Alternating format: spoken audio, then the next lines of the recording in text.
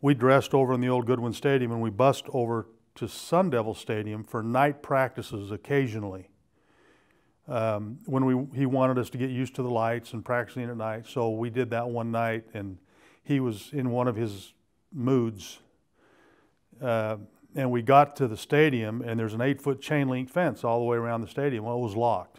The gate was locked, and we got there on a bus, the whole team on a bus, and. Uh, he, didn't like that. And he, I remember looking out the window and he's standing out on the road. We were waiting for someone to come unlock the gate to let us in. And you could just, like a light bulb went off in his head. And he jumped up on the bus, pulled the driver off the bus, and got behind the driver's wheel and just drove the bus through the gate, full of players, the whole team on the bus.